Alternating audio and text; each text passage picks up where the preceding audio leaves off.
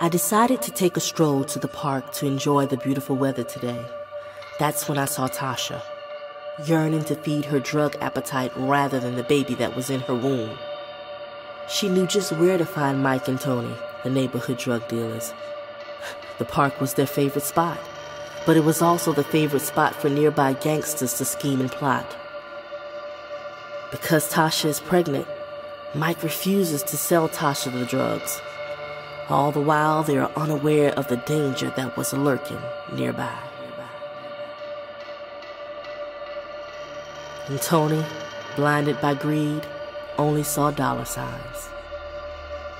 And there's me sitting on the bench, clueless to what was about to take place.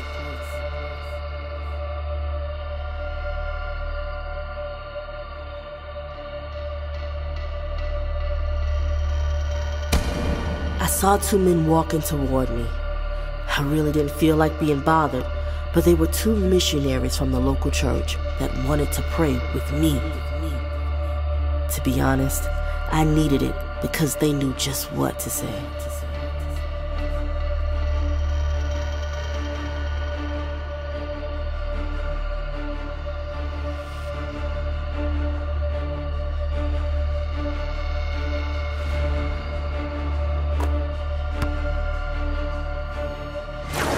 The Bible says that the Lord comes to everyone at some point in their life.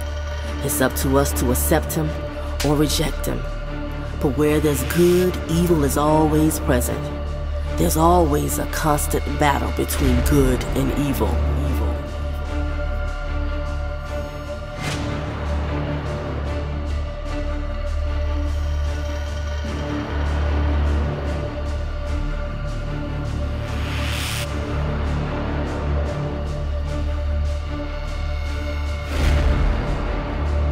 Evil. I could feel it in the air. The Bible states that no man knows the day nor the hour.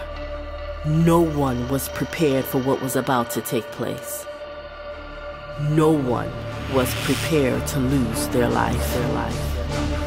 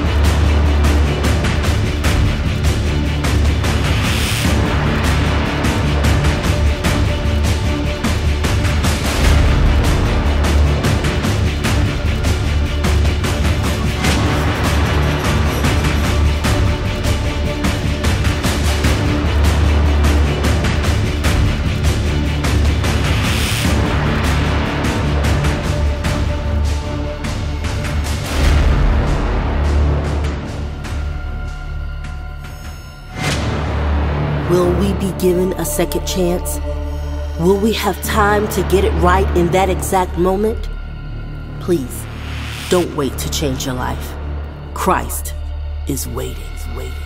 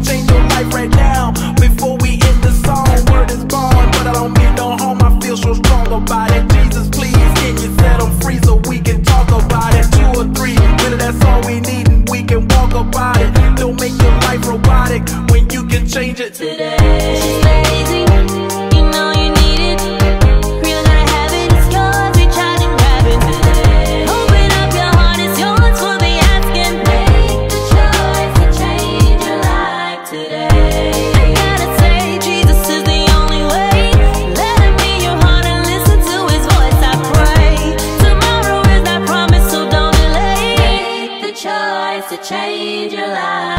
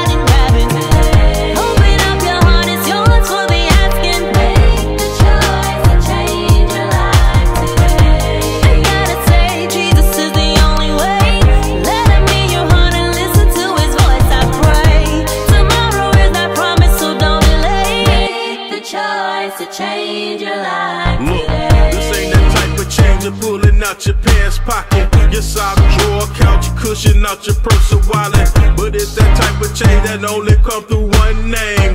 Jesus Christ, the Son of God, the Lamb that was slain. I used to be a lame until He changed my stride. Now that I'm running with the Lord, I'm on that winning side.